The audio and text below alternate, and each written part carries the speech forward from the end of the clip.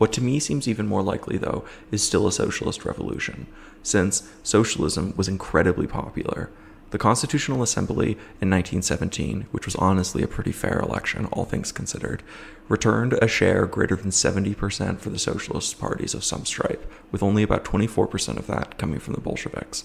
What is shocking is the fact that Lenin and what became Marxist Leninism won out.